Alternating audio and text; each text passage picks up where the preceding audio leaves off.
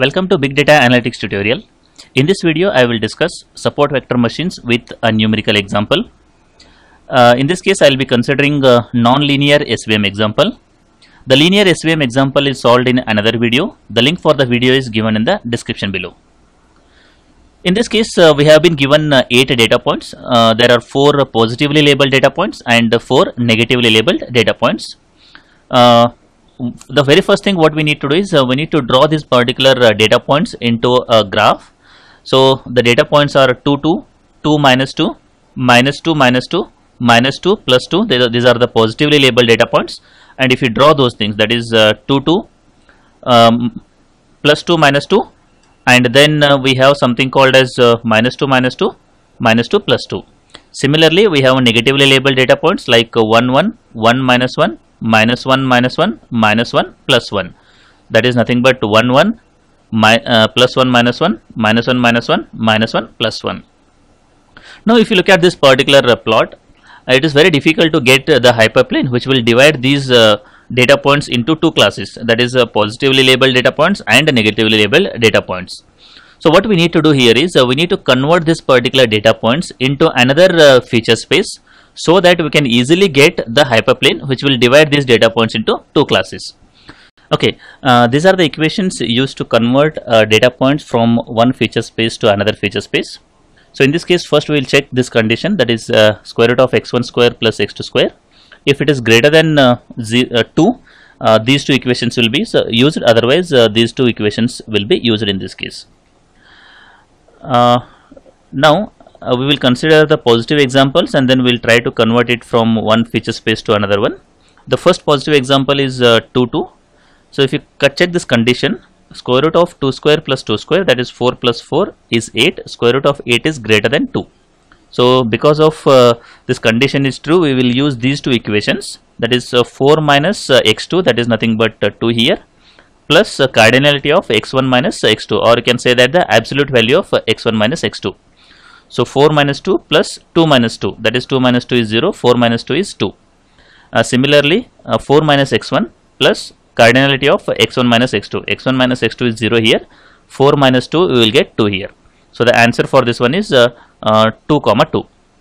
Similarly uh, we will use the second one the second data point that is 2 uh, minus 2 square root of 2 square plus minus 2 square which is again 8 square root of 8 which is greater than 2 in this case uh, we will use these two equations. 4 minus x2 x2 in this case is minus 2 so 4 minus minus of 2 it will become uh, plus 2 so it is equivalent to 6 here. Plus x1 minus x2 x1 is 2 x2 is minus 2 this will become 4 6 plus, uh, 4 is equivalent to 10 and the second equation is uh, 4 minus x1 4 minus 2 here plus x1 minus x2 x1 minus x2 that is 2 minus minus 2 which is equivalent to 4 2 minus 2 plus 4 that is equivalent to 6 10 comma 6 similarly we can convert these two data points into these two. With the same note uh, the negative examples are converted into uh, these four uh, data points in this case. In all the cases if you consider all the data points uh, negative data points uh, we will not uh, satisfy this particular condition. So we will use the other two equations. In other two equations we will retain the same data points here so that's the reason uh, 1 1 is retained here, 1 minus 1 is retained here, minus 1 minus 1 is retained, minus 1 plus 1 is retained here. Now we need to draw this particular uh, data points. So if you draw this particular data points, uh, you can see the negative data examples. Uh, this is 1 1, 1 minus 1, minus 1 minus 1, this is minus 1 plus 1. So these are the four uh, negative data points. If you look at the positive data points, this is 2 2, 10 6, 6 6, 6 10. That is uh, 2 2, 6 6 10 6 and then 6 10 so these are the four positive data points. Now if you look at this particular uh, plot we can easily uh, find a hyperplane which can divide these two uh, classes of data into two parts. Uh, that is positive label uh, data points at one side and negatively labeled data points at other side. uh, now uh, what we do here is uh, we will try to identify one uh, can say that the data points which are near from uh, either of the classes. So if you look at this particular thing this is the one data point which is near from a negative uh, data point and this is from a positive data point. So these are the two nearest data points we have. Now we need to identify a hyperplane which will go between these two data points. That is what our intention. So first we will um, uh, name these two data points. We will say this one as s1 and this one is uh, labeled as s2 s1 is equivalent to 1 1 that is uh, this particular data point and s2 is equivalent to this one that is 2 comma 2 okay so now uh, once you do this particular thing uh, what we need to do is to uh, nearest data points we need to add a bias term that is uh, 1 as a bias term. Okay once we add a bias to this particular s1 it will become 111 and we will label this one as s1 tidal. Similarly once you add bias to the second term that is s2 it will become 221 uh, we will label it as uh, s2 tidal here. Okay. Uh, there are two uh, variables or you can say that the nearest data points we have. Because of that we need to find out the uh, the values of two variables. You can say that alpha 1 and alpha 2 uh, if you want to calculate the values of alpha 1 and alpha 2 we need to use these equations again these equations will change depending on the number of uh, the variables we need to find. In this case I want to find only alpha 1 and alpha 2 because there are only two nearest data points we have. Uh, the equation for uh, uh, the first uh, uh, value or the first equation is alpha 1 s1 s1 plus alpha 2 s2 s1 so in this equation s1 is common here. Uh, s1 is uh, on the negative side of the data point. So we'll equate it to minus 1 alpha 1 s1 s2 plus alpha 2 s2 s2 so what is common in this case? S2 is common here. So s2 is present on the positively labeled data side so we will equate this equation to plus 1 in this case. Now uh, what we need to do is we need to put the values of s1 s2 so once you put the values of s1 s2 the equations will become something like this.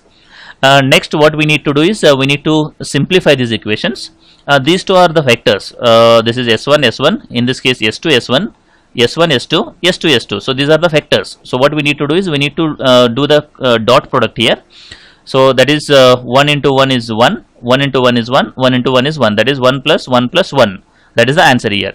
Similarly 2 into 1 2 into 1 1 into 1 that is 2 plus 2 plus 1 that is the answer. So the equation will look something like this. After simplifying alpha 1 multiplied by 1 plus 1 plus 1 that is 1 plus 1 plus 1 plus alpha 2 uh, multiplied by 2 plus 2 plus 1 that is 2 plus 1 plus uh, 2 plus 1 which is equivalent to minus 1 similarly for this equation also we will get this equation. Now once you get these two equations we need to further simplify it. Uh, that is 1 plus 1 plus 1 that is 3 alpha 1 plus uh, 5 times alpha 2 5 times alpha 1 plus uh, uh, you can say that 9 times alpha 2 which is equivalent to minus 1 in the first case plus 1 in the second case. So these are the two equations we will get so once you solve these two simultaneous equations we will get the values of alpha 1 and alpha 2 so the alpha 1 is equivalent to minus 7 in this case alpha 2 is equivalent to 4 in this case. Now once you get the values of alpha 1 and alpha 2 we can easily calculate the value of or can say that the uh, weight vector that is uh, w cap. The w cap is or w tidal is always equivalent to summation of alpha i uh, s i cap okay so i in this case is the number of nearest points. How many nearest points we have in this case? 2 so this will become alpha 1 s1 plus alpha 2 s2 so alpha 1 is minus 7 this is s1 plus alpha 2 is 4 this is s2 so now once you simplify this particular uh, equation we will get 1 1 minus 3 here. Okay so this particular term is nothing but uh, w tidal. W tidal consists of the w as well as the bias vector. Okay so bias term so what we need to do is we need to uh, extract the w and then uh, bias separately. Uh, we know that uh, for every term S- s1 s2 s3 or whatever the term nearest data points are there we have added the bias. So we need to get this particular bias out here. So uh, the hyperplane equation is y is equal to wx plus b. So the bias in this case is minus 3 and w in this case is 1 1 here. So this is w and this particular term is nothing but the bias here. Uh, w is equal to 1 1 and bias is equal to minus 3 now we need to draw this particular hyperplane. So if you want to draw the hyperplane we need to remember some of the points. Uh, because uh, w is equal to 1 1 uh, this particular line will make a 45 degree angle with respect to x and y axis. If it is 1 0 uh, the line will be parallel to y axis. If it is 0 1 definitely the line will be parallel to x axis in this case now uh, in this particular bias bias will uh, give you the uh, position where we need to draw this particular line here. Okay? The bias is equal to minus 3 because it is minus 3 it should be in the uh, first quadrant in uh, we need to draw here. Okay? Uh, now the line will look something like this. This is minus 3 that is bias is equal to 3 here. Bias is equal to 3 uh, the line will make make a 45 degree angle here. So we need, we need to draw the line something like this So this is the hyperplane which will divide these two data points. That is the positively labeled data points, uh, positively labeled data points, and negatively labeled data points into two classes here. Okay, this is the final plot uh, where we got uh, the hyperplane which is dividing the data set into two classes. Okay, uh, I hope uh, this uh, example is clear. If you like the video, do like and share with your friends. Press the subscribe button for more videos. Press the bell icon for regular updates. Thank you for watching.